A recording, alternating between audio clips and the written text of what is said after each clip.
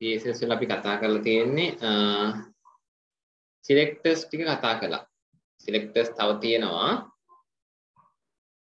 element selector, id selector, class selector කියන දේ කතා කළා.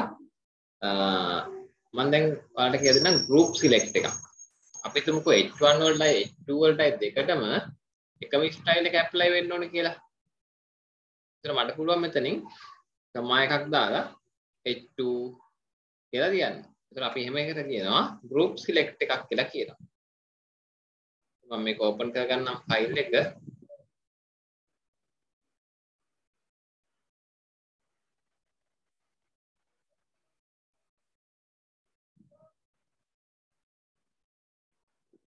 මේ විදිහට h1 h2 දෙකටම එකම ස්ටයිල් එකක් ඇප්ලයි වෙන්න ඕන නම් අපිට group select එකක් කමා දාලා selectors කීපයකට ඇප්ලයි කරන්න පුළුවන්. ඒකයි group select කියන්නේ. හරි කරලා බලන්න. දැන් මෙතන h2 වලට මේක ඇප්ලයි වෙන්නේ නැහැ. මොකද මේ ආ මෙතන ඇප්ලයි වෙනවා මේ.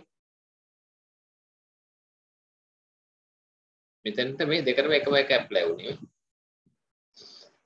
හරි කරලා බලන්න ඒක.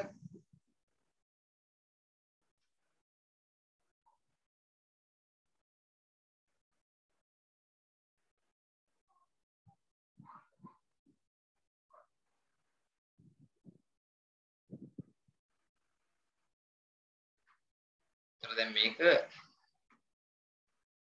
group select එක.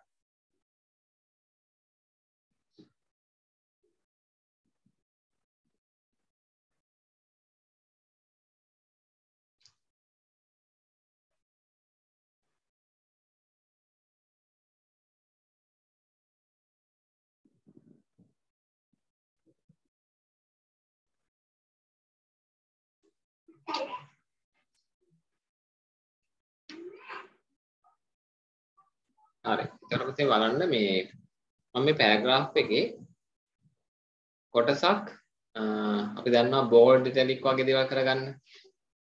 මේ මම මේක බෝල්ඩ් කරනවා.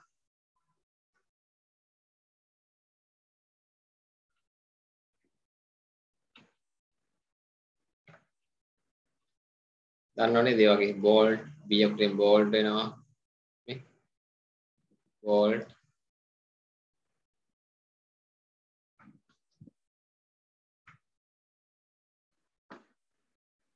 වෝල්ට් ඔය මොකක්ද තව වැඩි වුණා එකක් නේද වෝල්ට් ඊට පස්සේ ඉටලික් කරන්න ඕන නම් i අකුර පාවිච්චි කරන්න පුළුවන්. I.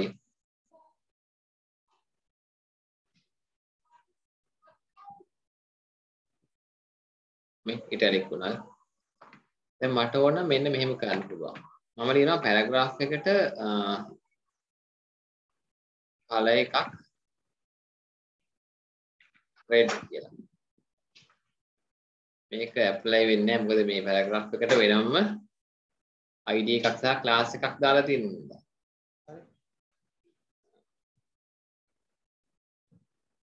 දැන් මට මෙන්න මේ විදිහට බලන්න පැරග්‍රාෆ් එකේ අර බෝල්ඩ් කරපු කොටස විතරක් හතු පාට කරගන්න පුළුවන් මේ. මම කොහොමද ඒක කළේ? පැරග්‍රාෆ් එකේ පැරග්‍රාෆ් එක ඇතුලේ තියෙන bold tag වලට. මම ලියනවා. පැරග්‍රාෆ් එක ඇතුලේ තියෙන italic tag වලට css එකක් ලියනවා. color royal blue. text decoration underline.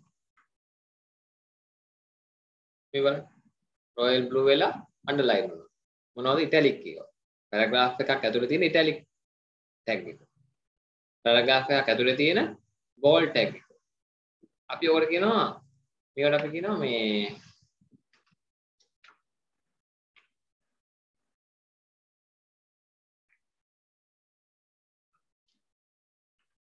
context selector කියලා. context selector කියලා. පුතේ පැහැදිලිද?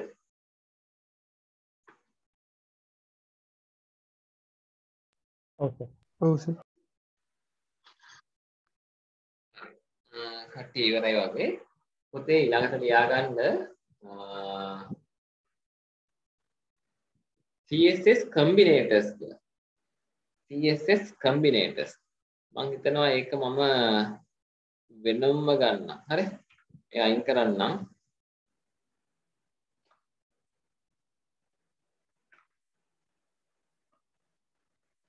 හරි. ඔන්න මොනවත්ම නෑ දැන්. කමෙන්ට් එක ලියන්නම්. CSS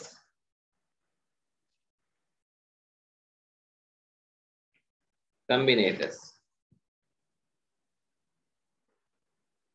මේ CSS combinators කියන්නේ අපේ මේ selectors වලට වැදගත් වෙන දේවල් ටිකක්. මේ selectors එක්ක ඒවා තව ටිකක් වැඩි advanced විදිහට භාවිතා කරන්න අපි CSS combinators use කරනවා. එතකොට selectors වලම කොටසක් තමයි. හරි. නමුත් විශේෂත්වයේ මේ දැන් අපි බොහෝම simple selectors කීපයක් කලින් කතා කරේ දැන් ටිකක් advanced selectors කීපයක් කතා කරේ ඒක වෙන නමකින් කතා කරනවා CSS combinators කියලා. හොඳට අහගන්න මේ ටික නිසා දැන් මම මෙතන ඉස්සෙල්ලාම ඔයාලට කතා කරන්න යන්නේ.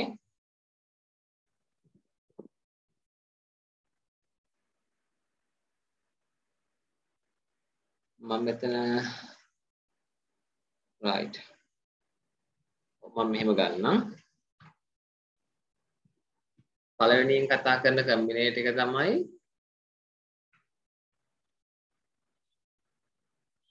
පළවෙනි එක. Descendant selector descendant selector දැන් ඔයාලා බලන්න මෙන්න මේක. මම මෙතන මේ ඩිවිෂන් එකක් අරන් තියෙනවා මේ. මට අවශ්‍යයි මේ ඩිවිෂන් එක ඇතුලේ තියෙන එලිමන්ට් වලට ස්ටයිල් එකක් ලියා ගන්න අවශ්‍යයි. ඒ එලිමන්ට් වලින්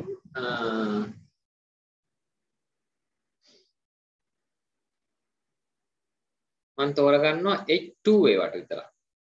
H2 ඒවටයි ලියවෙන්නේ. right. එතකොට දැන් හිතන්නකෝ අපේ H2 එකක් තියෙනවායි කියලා මෙන්න මෙහෙම මේ ඩිවිෂන් එකෙන් එළියෙත් තියෙනවා කියමුකෝ. හරි. අපි එතෙන්ට ලියමුකෝ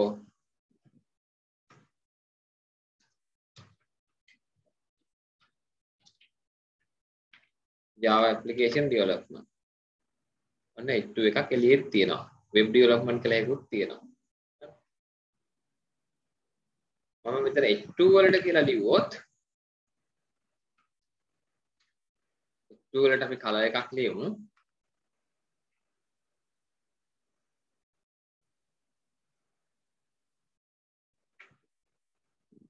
මේකේ තියෙන කලර් එකක් තෝරලා ගමු. ගන්නම් blue violet කියලා. ඔක්කොම ටික කලර් වුණා. ඔක්කොම H2 ටික කලර් වෙනවා. ඒකනේ අපි ඉගෙන ගත්තේ මේ දක්වා.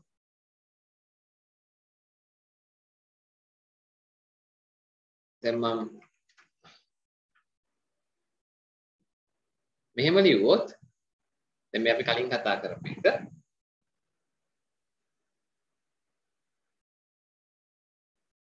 ඩිවිෂන් එක ඇතුලේ තියෙන H2 වලට විතරයි ඒක ඇප්ලයි වෙන්නේ.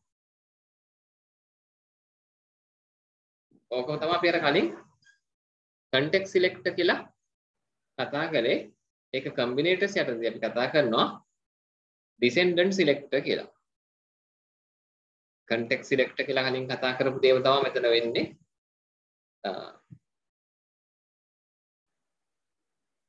පටල ගන්න එපා.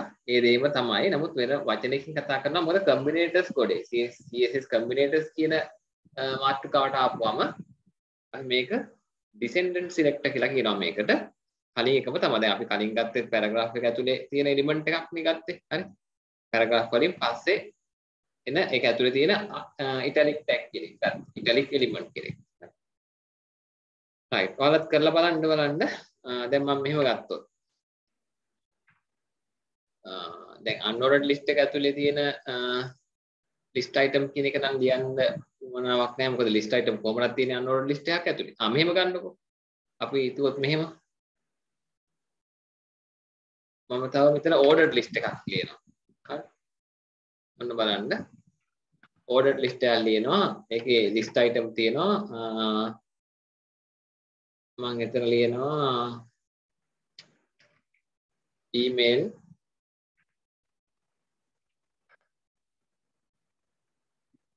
web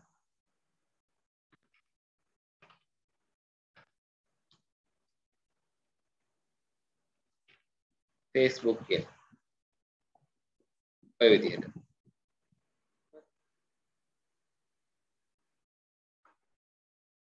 එතකොට එතන තියෙන්නේ 1 2 3 මෙතන තියෙන්නේ බුලට්ස් තියෙන්නේ. මේක ඕඩර් ලිස්ට් එකක්, මේක අන්ಓඩර් ලිස්ට් එකක්.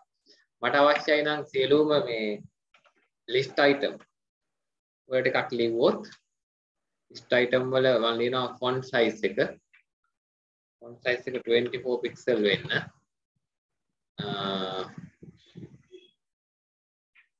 කලර් එක. බ්‍රවුන් කලර් වෙන්න. එලවම ලියනවා. right බලන්න දැන් මොකද වෙන්නේ කියලා. මේ දෙකටම මේක ඇප්ලයි වෙන්නේ මට ඕන මේක මේ unordered list වලට විතරක් ඇප්ලයි කරගන්න. එහෙනම් මම ලියනවා UL වල list item කියලා. right UL වල list item වලට විතරක් මේක මට ලියන්න පුළුවන් එතකොට ordered list ordered list වල list item font size එක 32 වෙන්න කලර් එක. හරි කලර් කෝඩ් එකක් දානවා. text decoration එකක් දානවා මම. Online කියලා ඔය විදිහට ඔන්න එතකොට CSS combinators වල descendant select එක පාවිච්චි කරලා තමයි මේ වගේ වැඩක් කළේ. division එක ඇතුලේ තියෙන සියලුම දේවල් තෝරගත්තා. එළියේ තියෙන අතෑරලා සියලුම list item වලට apply කළා. අදාළ context එකේ විතරක් තියෙනවා. හරි. context select කියලා කියනවා. එතකොට descendant select කියලා කියනවා. right. මේක note කරගෙන අදාළ බලන්න මට hand raise එකක් දෙන්න බලන්න.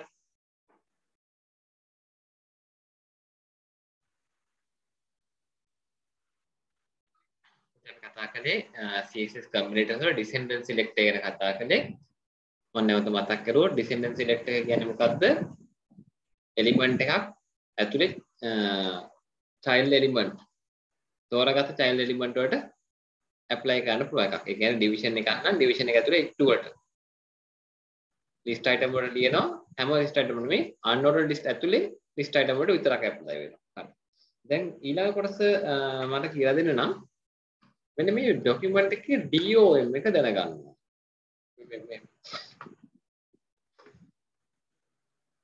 අපේ මේ වෙබ් එකේ මේ වෙබ් පේජ් එකේ DOM එක දැනගන්න මම මේ පොඩි ටූල් එකකින් ගන්න පුළුවන්ද කියලා බලුවේ.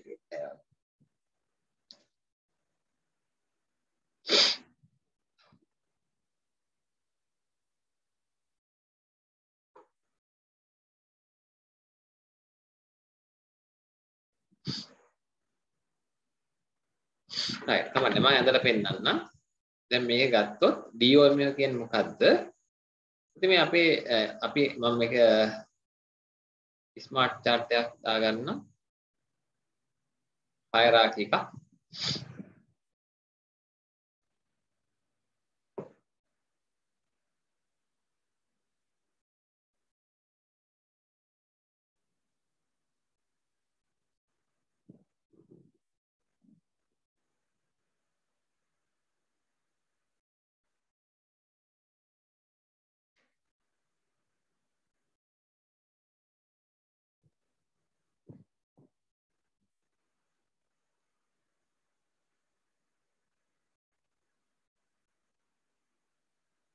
දැන් මේ අපේ HTML document එක පටන් ගන්න HTML වලින්.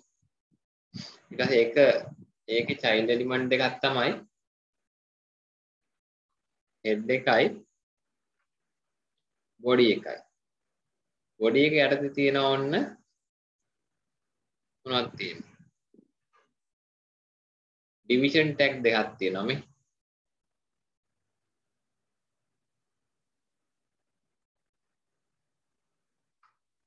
Body එක යටතේ division tag දෙකක් තියෙනවා මේ. ඒතකොට division දෙකයි.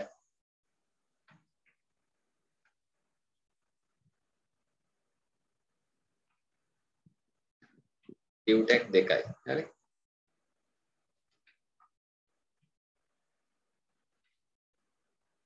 පළවෙනි ඩිවිෂන් ටැග් එක යටතේ තියෙනවා UL එකක් සහ OL එකක්. OL එක ඇතුලේ තියෙනවා list item list item list item. කලින් එකෙත් එහෙමයි. list item list item list item. මෙන්න මේ වගේ ડોකියුමන්ට් එකට මේ මේකට අපි කියනවා පුතේ DOM එක කියලා. හරි? document object modeling කියලා. right මේ බලන්න මේ HTML එකේ child ලා කවුද කියලා ඔයාලට කියන්න පුළුවන්ද? HTML කියන element එකේ child ලා කවුද?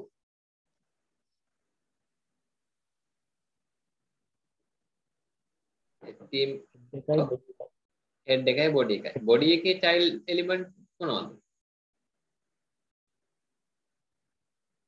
div div div tag දෙකක් නේ.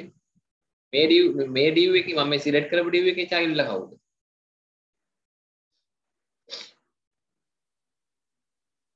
ULOL ULOL right.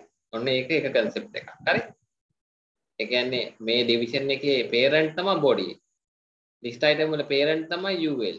මේ list item වල parent තමයි OL. හරි. එතකොට ඊළඟ concept එක දැනගන්න ඕනේ ඔන්න child parent හරි දැන් ඈ. ඊළඟට දැනගන්න ඕනේ sibling කියන එක. sibling කියන්නේ සහෝදර සහෝදරියෝ. එතකොට මේ UL වල siblings ලා කවුද? OL OL good. body එකේ sibling කවුද? head. Division දෙකනේ. head.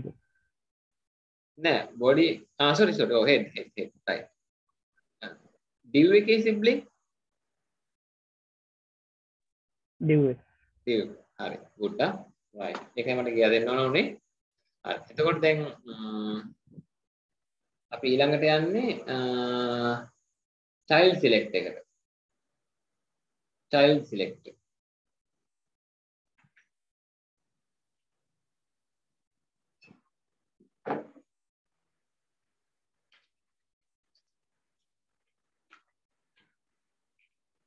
child select එකක් කරනවා. මම එතකොට මේ උඩ ටික අයින් කරන්න නැත්නම් පැටලෙන හින්දා හරි. මට අවශ්‍යයි div tag එක ඇතුලේ තියෙන div tag එක ඇතුලේ තියෙන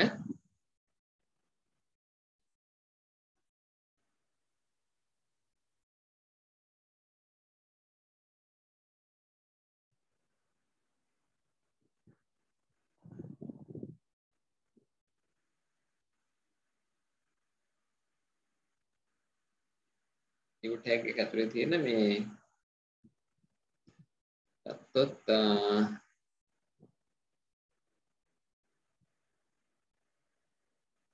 H2 කියමුකෝ. H2 div tag එක ඇතුලේ තියෙන H2 ඔක කිව්වොත් දැන් පොඩි වැරද්දක් වෙනවා. මම කලින් එක මකන්න නැතුව තියන්නම්.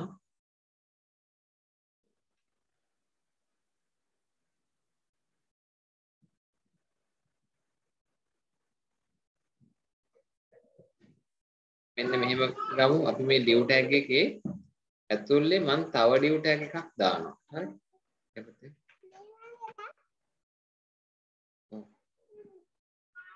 අනේ පුතේ මම පන්තියක් ඉන්න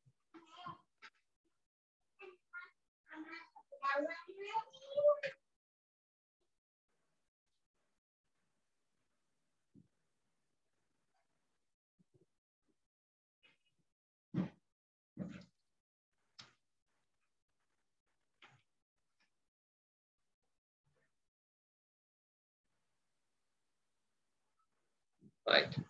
දැන් බලන්න අපි කලින් කතා කළේ මේ මේ කලින් කතා කරපු විදිහට මොකද උනේ div tag එක ඇතුලේ තියෙන සියලුම p elements select කරපුවාම මේ div tag එක ඇතුලේ තියෙන p elements උත් මෙයා වුණා. ඒක ඇතුලේ තිබ්බ div tag එක ඇතුලේ තියෙන ඒවත් select වුණා. දැන් අපි මෙහෙම කරුවොත් මේකට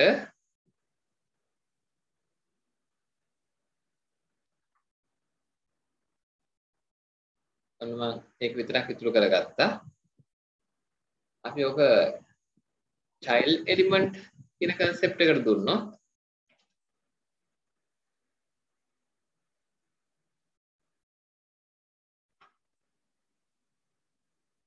ඒත් එහෙම වෙනවා. මොකද දැන් මේකත් child element එකක් වෙනවා. මේකෙන් මේක ඇතුලේ. ඒකයි ප්‍රශ්නේ තියෙන්නේ මම මේක division division එකක් නෙමෙයි. මම මේක ගන්නම්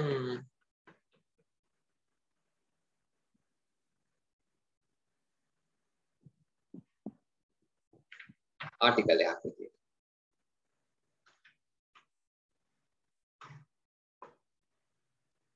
එතකොට ඒක සිලෙක්ට් වෙන්නේ නැත්තුව යනවා. වලට මම මේක වෙනස කොහොමද කියලා දෙන්නේ කියලා කල්පනා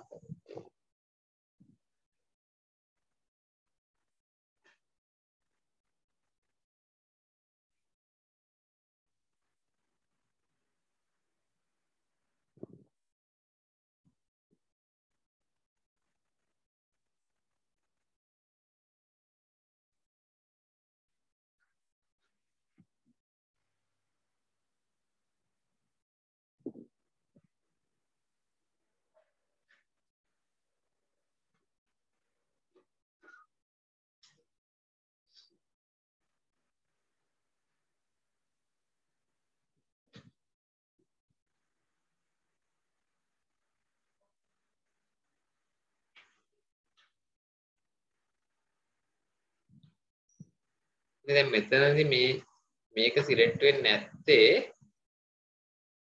මේ H2 සිලෙක්ට් වෙන්නේ නැත්තේ immediate child ලා විතරයි මේක ගන්න. හරි? division tag එක ඇතුලේ තියෙන immediate child ලා. ඒ කියන්නේ කෙලින්ම යාගෙම යට තියෙන child ලා විතරයි. ඒ නිසා තමයි මේක සිලෙක්ට් වෙන්නේ නැත්තේ. හරි? මේකෙන් අදහස් කරන්නේ division tag එක ඇතුලේ H2 child ලා කියන එක. H2 විදිහට ඉන්න child element. වලට විතරක් apply වෙන්න කියලා කියන්නේ. දැන් මේකෙත් පොඩි සමානකමක් තියෙනවා. නමුත් අවස්ථාව අනුකූලව ඒක වෙනස් කරගන්න වෙනවා අපිට. දැන් පිටින් අදහස් කරේ child විතරක් නෙමෙයි. ඒක දාපුවම මේකත් select වෙනවා මේ. හරි. ওই දෙක අතර වෙනස ඔහොම තමයි මට පෙන්වන්න වෙන්නේ. දැන් මේක දැන් මේක descendant select එකක් විදිහට ගත්තොත් division tag එක ඇතුලේ තියෙන ඕනෑම h2 element එකක් select වෙනවා ඔය. මොකද මේවත් ඒ division tag එක ඇතුලේ මේවත් division tag එක ඇතුලේ. division tag එක ඇතුලේ child විතර නෙමෙයි ඇතුලේ ඇතුලේ ඕන තැනක කොච්චර nested වුණත් ඒක select වෙනවා. නමුත් immediate child විතරක් apply වෙන්න ඕන නම් ඒ කියන්නේ කෙලින්ම division tag එක යටතේ විතරක් තියෙන apply වෙන්න ඕන නම් child select එක දාන්න පුළුවන්. එතකොට apply වෙන්නේ immediate child ලාට විතරයි. ඔක තමයි මට දෙන්න පුළුවන් හොඳ උදාහරණ විදිහට තියෙන්නේ. ඒත් එක්කම එළියේ තියෙන මොනවටවත් apply වෙන්නේ නැහැ මේ. එළියේ තියෙන H2 වලට apply වුණේ නැහැ. Okay clear ද?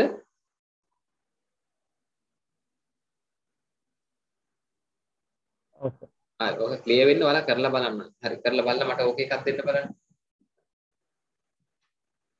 මේ මේ මේ ආටිකල් එකක් ඇතුලේ ලියපු එකක් දාගන්න. හරි. දාලා අර කලින් එකත් අප්ඩේට් කරගන්න. මොකද එහෙම වුණොත් තමයි ඔයාලට මේක පැහැදිලිව මේවා කරගන්න පුළුවන්. හරි. පොඩ්ඩක් කරලා බලන්න මට කියන්න. දැන් ඔන්න child select හරි descendant select හරි අපි ළඟට යමු බලන්න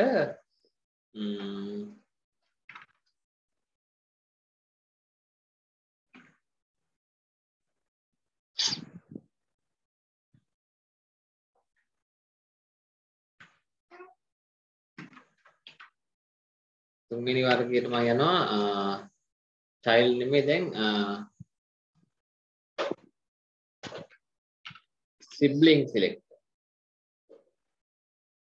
අපි ඒකට කියනවා adjacent කියලා. adjacent sibling කියන්නේ එක ළඟ ඉන්න.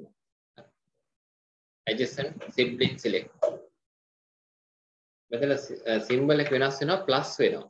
හරි බලන්න කාටද ඇප්ලයි වෙන්නේ කියලා මේක මේක ඇප්ලයි වෙන්නේ මෙතෙන්ට මේ ඒ කොහොමද උනේ? ඒක වෙන්නේ මෙහෙමයි.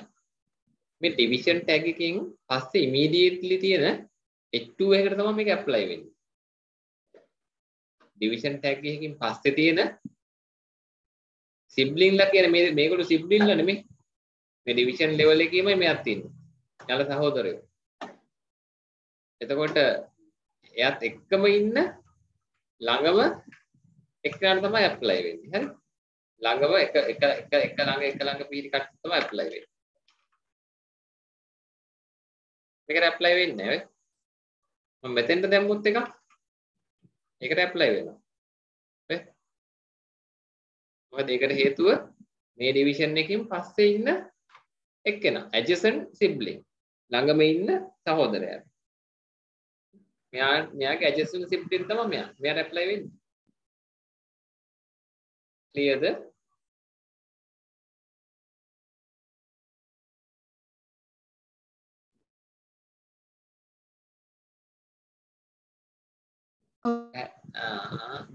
හරි. පැහැදිලි නැත්නම් අහන්න ඕනේ ආයේ.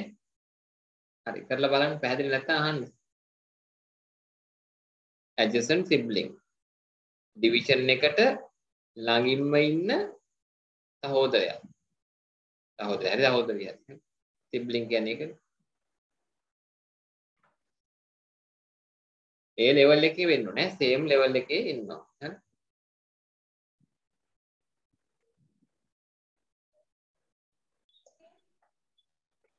ඊළඟට තව එකයි තියෙන්නේ. ඒකට අපි කියනවා සිබ්ලින්ම තමයි. ඒකට කියනවා ජෙනරල් සිබ්ලින් කියලා. ජෙනරල් සිබ්ලින් සිලෙක්ටර් මේකේ මොකද වෙන්නේ මේකදී අපි මෙන්න මේ වේරියබල් මාක් එක දාන්නේ එතකොට වෙන්නේ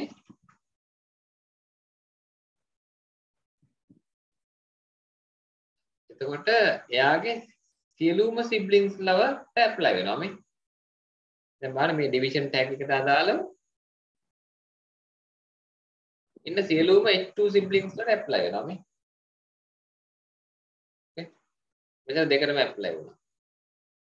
මේකටත් ඇප්ලයි වුණා. මෙතන හතරක් හරි පහක් හරි තිබුණොත් සිබ්ලින් ලෙවල් එකේ තියෙන හැමෝටම ඇප්ලයි වෙනවා. වෙන ඇතුලේ තියෙන H2 වලට වෙන කොහාටවත් ඇප්ලයි වෙන්නේ නැහැ. ඩිවිෂන් ටැග් එකට සිබ්ලින් වෙන අයට ඇප්ලයි වෙනවා. දැන් මම ගත්තොත් එහෙම H1 වලට සිබ්ලින් වෙන අයට කියලා. H1 වලට සිබ්ලින් eh, වෙන H2 වලට ඇප්ලයි වෙන්නේ කියලා. මේ දෙකට ඇප්ලයි වෙනවා මේ. මොකද මේක H1 එකක්. ඒ H1 එකට තමයි මේ දෙන්න ඉන්නේ. හරි. ඒතකොට ජෙනරල් සිබ්ලින් එකෙන් ඉමීඩියට් එක ගන්න මේ හැමෝටම ඇප්ලයි වෙනවා.